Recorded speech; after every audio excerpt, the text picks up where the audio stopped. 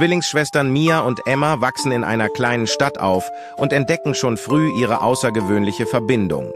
Sie können Gedanken und Gefühle des anderen spüren, egal wie weit sie voneinander entfernt sind. Eines Tages erleidet Mia einen schweren Unfall und wird ins Krankenhaus eingeliefert. Während Emma zu Hause ist, verspürt sie einen überwältigenden Schock und erkennt sofort, dass etwas Schlimmes passiert ist. Ohne zu zögern läuft sie ins Krankenhaus und findet Mia, die im Koma liegt.